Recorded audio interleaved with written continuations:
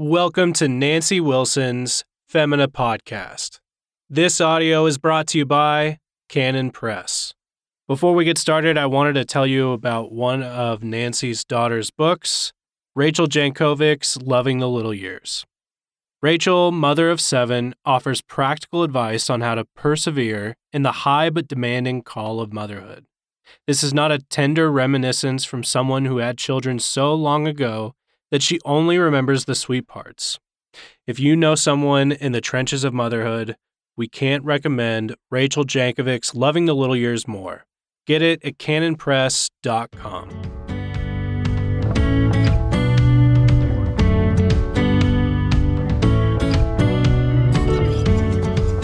Welcome to the Femina Podcast. This is Nancy Wilson. Thank you for joining me today.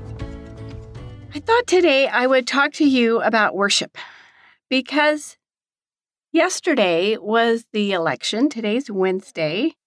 And as far as I know, we still don't know who has won. And whatever the eventual outcome, it seems like it'd be good to talk about permanent things, you know, the things that are clear for us. And worship is one of those things. So this seemed appropriate to talk about worship because whatever the outcome, we serve the Lord and we know we have our marching orders and we know what to do. And this should give us just a lot of stability and just be very reassuring to us that we can have in Christ peace and joy regardless of the outcome. And this is just such a gift in these crazy times. It's a gift that we don't take lightly. And that is, we know who we are and we know God, and He has redeemed us, and He's promised so many things to us and He's given us life and He's promised to be with us. Uh, and He's the same yesterday, today, and forever. So we have nothing to fear. So I thought in these funny times that it'd be good to talk about worship because worship is the most important thing we do. So steady as she goes. I mean, that's what we do. We still have many duties if you're like me, I mean, you have groceries to unload too. I have meals to prepare, laundry to wash and put away. I've got plenty of household duties, my Bible reading, and keeping an eye on my father in law as one of his caregivers. And none of those things have changed. And this is what it's like to live on the rock and not on the sinking sand. But as things continue to grow unsteady around us, we should thank God all the more that we can gather to worship Him each week. Worship is our most important earthly duty.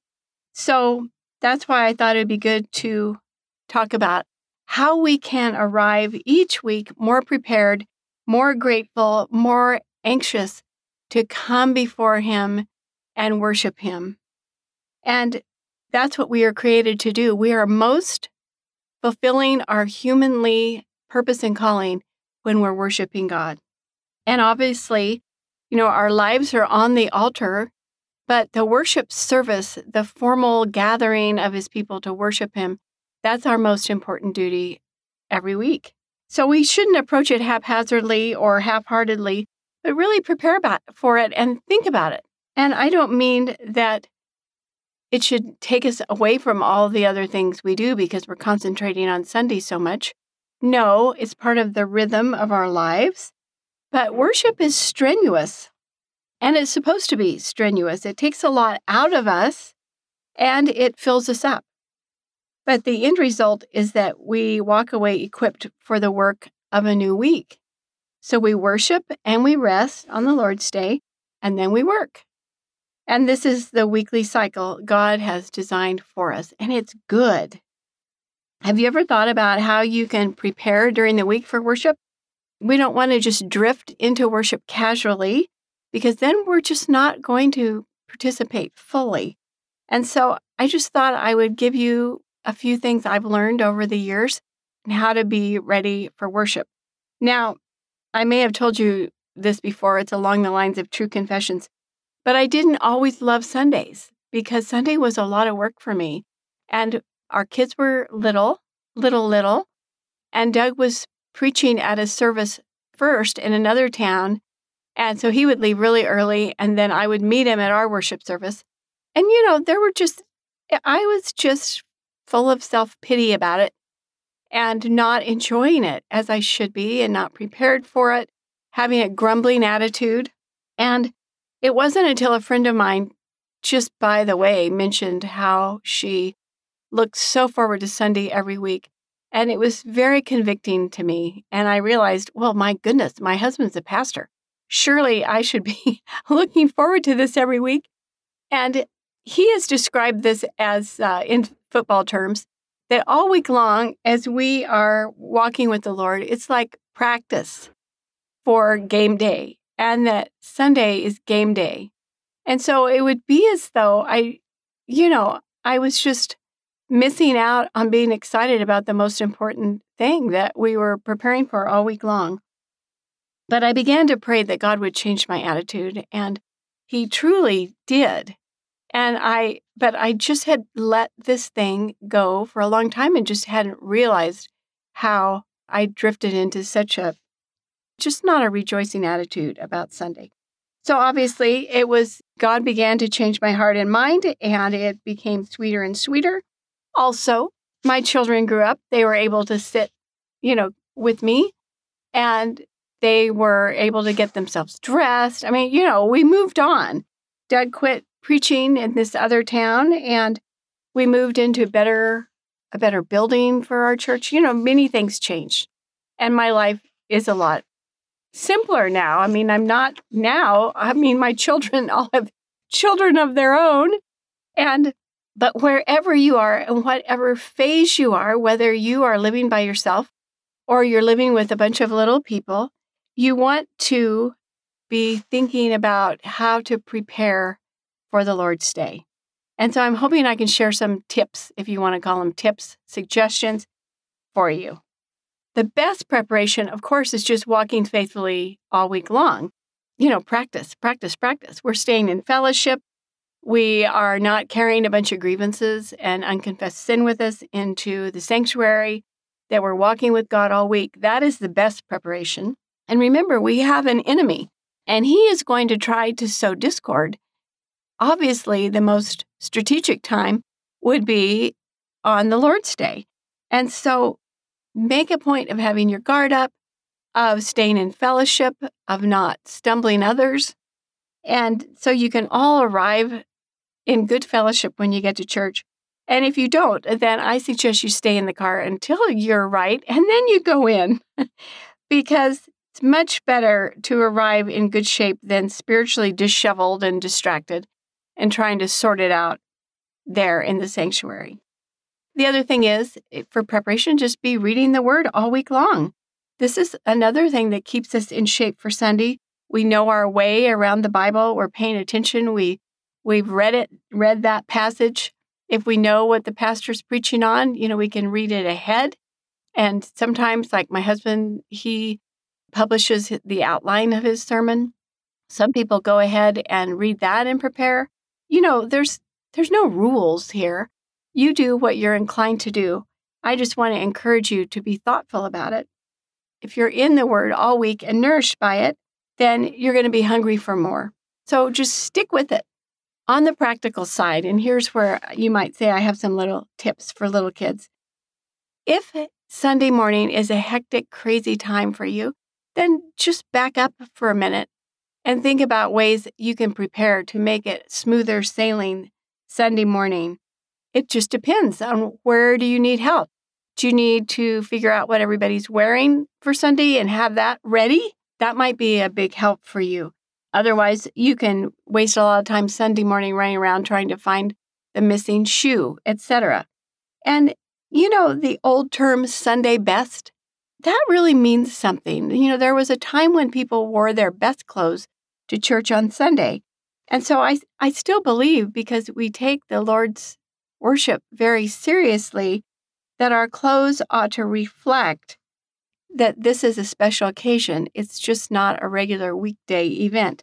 And I'm not, believe me, I'm not suggesting a hat and gloves or a prom dress. Please, no. I'm just saying that even if it is jeans, it's your good jeans. Um, it's not the ones you painted the garage in the other day. You know, we're presenting ourselves to God. So we ought to take pains to present ourselves and our children looking well, looking sharp in our Sunday best. And if it helps you also, you know, to have breakfast figured out, you know, Saturday night, you can throw some things together or do an inventory and just have a plan. Um, maybe it's a box of Cheerios and some sliced bananas. It doesn't matter. Or maybe you have a husband, or maybe you do this where you cook a big Sunday breakfast. I mean, three cheers for you. I love it. But maybe it's simpler than that. I'm just saying, give it some thought because this is an important occasion. And you may be taken up with thinking about Sunday dinner, and as well you should. But if there are other things that seem to be troubles every week, we'll just pause and think about it and say, I need a mm-hmm. strategy so these aren't stumbling us every week. So we can all get in the car and get to church in the joy of the Lord with no distractions, keeping it simple. Then, if you take your Bibles and your hymn books to church, same thing, have the kids set them out so they're ready in the morning. You know, just coach them, don't scold them.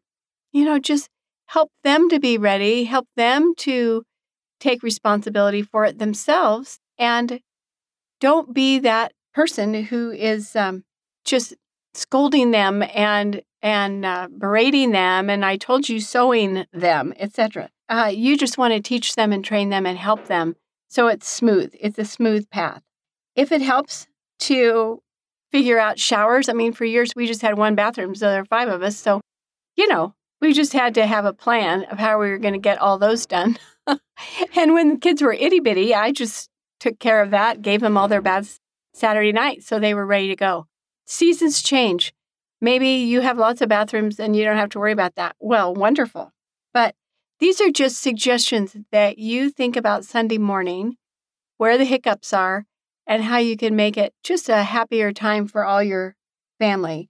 And you can appear before Him with a calm heart, not a flustered spirit at all. And like I said, don't be that dictatorial mother. It'd be better to show up with the unmatching shoes than with a raggedy heart.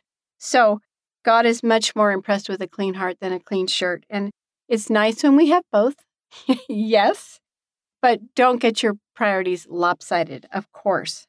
The other thing that I think is a wonderful preparation for the Lord's Day is prayer. So we all pray all week long, right? We're praying for many things. So don't forget to pray for church.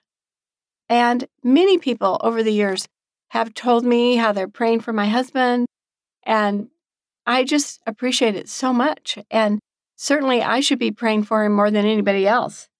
And so pray for your own people that they will all be prepared for worship, but also pray for the church service itself. And it, you know, this is another thing you can just work into the rhythm of your week. You know, maybe you pray different things each day and you can just put the worship service on one of those days one of those index cards. If once you get started, I mean, it's easy to think, well, I should pray for the pastor, pray for the sermon.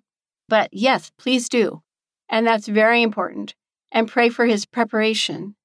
And pray for all your pastors, your elders, your deacons. And you don't have to remember all their names, but it's good to remind the Lord of them and pray for their families.